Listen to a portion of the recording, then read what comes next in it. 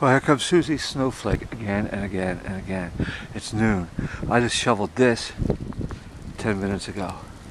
And your typical wall snow. And let's just take a look here. And uh, I'm not going to be able to get anything else on top of that. And here we go.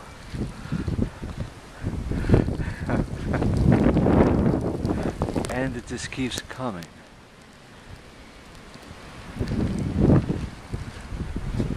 Back to shoveling. Doomed to endlessly shovel snow? Well, at least you can keep your neck warm and cozy with this Brookstone Tweed neck warmer knitted by Connie herself.